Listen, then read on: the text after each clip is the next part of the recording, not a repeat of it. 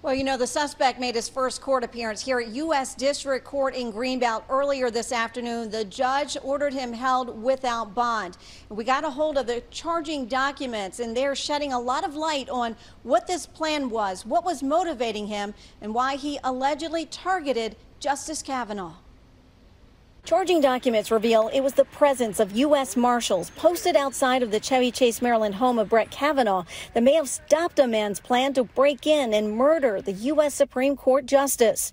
Nicholas Roske, who's 26 and from California, is facing a federal charge attempting to murder Kavanaugh. The documents lay out what happened this way. Roske was dropped off in a cab at Kavanaugh's home about 1 in the morning, but when he saw the marshals, he walked down the street. He then called 911 one himself just before 2 a.m. Here are some of the dispatch communications. The caller is Nicholas Roske. He advised he's having suicidal and homicidal thoughts.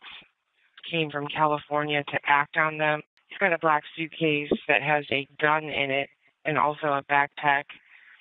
Caller says he has a firearm with him that is unloaded and locked in a case.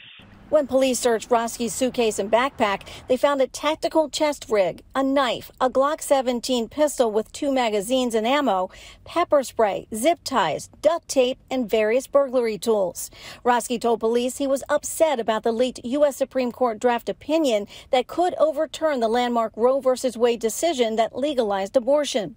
The leak prompted demonstrations at justices' homes, including Kavanaugh's, after the addresses of conservative justices were posted on the internet.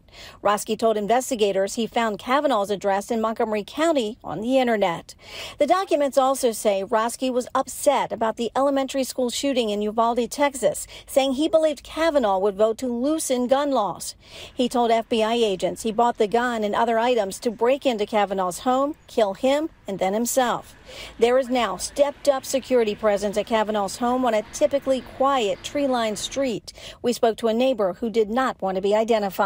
It's, it's a tragedy on many levels, and it's not the way to solve anything. Roske told the FBI that he was looking to do something to bring purpose to his life. Back to you.